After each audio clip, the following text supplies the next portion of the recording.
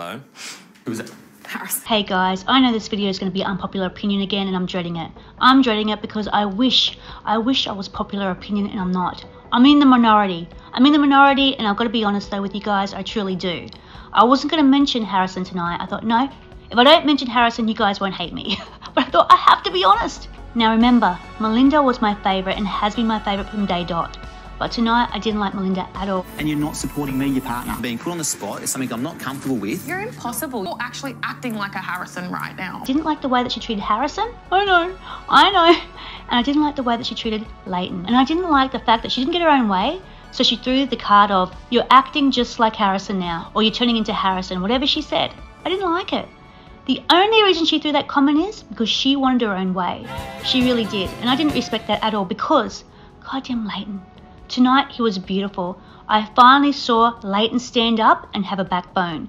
And I loved it. I love seeing your moral value system, Leighton.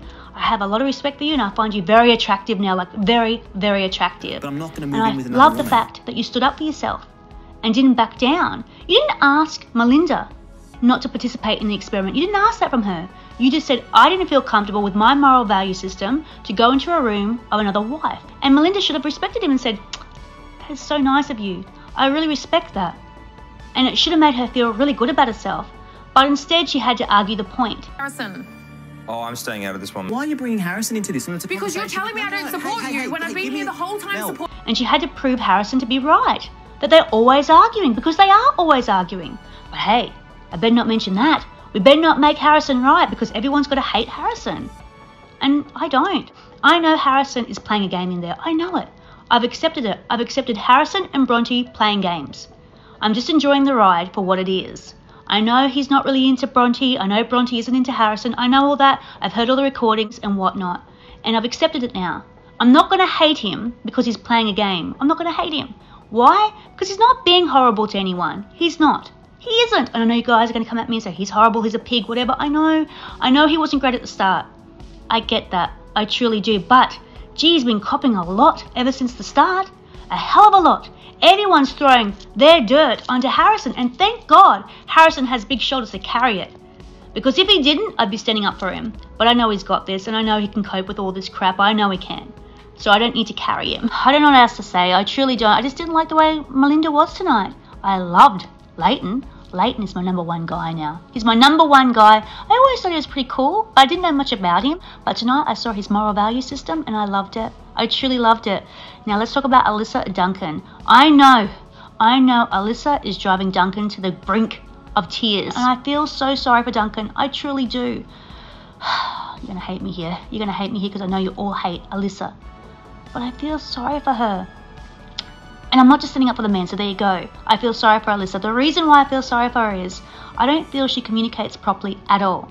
I don't. But we're all asking for something real in this experiment, and I feel Alyssa is being real. We've all wanted real. We hate the fact that Harrison's playing games. I don't like the fact that Harrison's playing games. I've just accepted it. If Harrison was manipulating Bronte, and Bronte wasn't in on the game, then I'd feel sorry for Bronte. I would. But I don't, because I know they're both in on it. But Alyssa, she's really there with her hand and heart. And I feel sorry for her. I know she shouldn't be in this experiment. She shouldn't be there. Because this girl doesn't know if she's coming or going. And the only reason she fell underwater when she started to have feelings for Duncan. That's when she fell underwater. Before that, she was cool. She was fine. But she's starting to really like Duncan. And Duncan, you're gonna hate this, guys. You're gonna hate it. I'm scared to say it. I'm scared to say it. You guys are gonna all unsubscribe, and I just gotta wear it on the chin. But I feel like Duncan isn't strong enough for Alyssa. I know. The reason being is I feel Duncan could say to Alyssa, Look, I know you have a child, and I want to get to know your child. Tell me about your son. Tell me what hobbies he's into, and maybe we could get along on the outside world. He's not having those big talks that maybe might appeal to Alyssa. He's not saying, Hey, enough of the tears. Enough. Stop them. I'm here for the right reasons. I'm here for you, and I want to get to know your son. Stop the crap. She needs to hear that. Maybe. Maybe she is over emotional. Maybe she is over the top. I don't know. I don't know if she really is over the top. I'm just taking a step back and thinking maybe, maybe she really is worried. Maybe she is really insecure. And maybe she's scared. Because I know that I don't react properly when I'm scared. I act stupid when I'm scared. I'm really stupid. I'm really embarrassing when I'm scared, like really embarrassing. So I'm putting myself in her shoes. And she said she's never had a relationship since she's had a child, besides her husband that she was with. So I don't know. I don't know, but I feel like she needs someone to grab her by the shirt and say, Alyssa, wake up to yourself. I'm here in this experiment for you. I've shown you all the signs that I'm here for you. Now tell me about your son because I want to know everything about your son. Doing those photos was stupid. Was so stupid. I feel like Duncan might be a yes man. And that could be the problem. That could be the problem. You can't be a yes man either. You've got to show strength for your partner. Whether you're a girl or a guy, you've got to show strength. And Alyssa isn't showing strength for Duncan, and Duncan isn't showing strength for Alyssa. And I feel like Alyssa shouldn't be there. She needs to go back to her son. She'll feel a lot more happy. And maybe we're seeing things we're not seeing behind the scenes. Am I feeling sorry for Duncan? Yeah, I am. I hated seeing him cry. I truly hate seeing anyone cry, and his tears were real. So I respected that and I felt sorry for him and a lot of empathy for him. Oh, Alyssa, you've got a good guy here.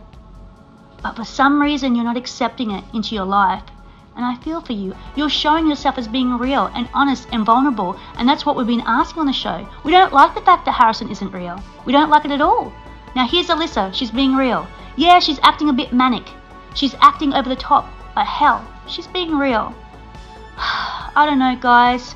I'm gonna go check my subscribers right now because I feel like you're gonna all unsubscribe from me because I have my opinion and I know people don't like people with differing opinion these days. But I've got to be honest as well. Comfortable, guys. I don't feel comfortable doing that. Actually acting like a Harrison right now.